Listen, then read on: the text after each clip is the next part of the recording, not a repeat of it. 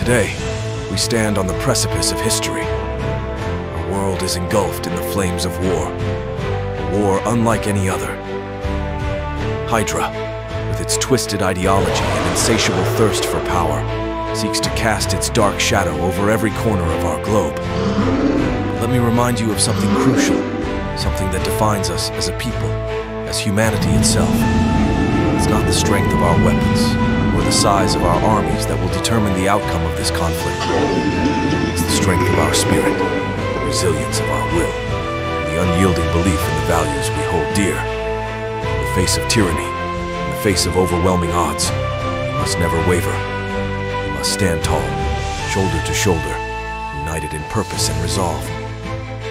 For it is in our unity that we find our greatest strength. We are not just soldiers fighting a war. Are the guardians of freedom, defenders of liberty. Our cause is just. Our hearts are pure. Our determination is unbreakable. Yes, the road ahead will be fraught with peril. We will face trials and tribulations the likes of which we've never known. I assure you, my friends, we will emerge victorious. The spirit of freedom burns bright within each and every one of us. So, let us march forward with heads held high and hearts afire with the flame of justice.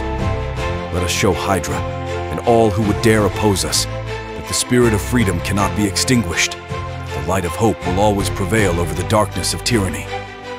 This is our moment, our time to shine. Let history remember us not as mere soldiers, but as heroes who stood firm in the face of adversity, who fought not just for ourselves, but for generations yet unborn, for liberty, justice, for all that is good and right in this world, we will fight. And together, we will emerge triumphant. Godspeed, my friends. Let's show Hydra what we're made of.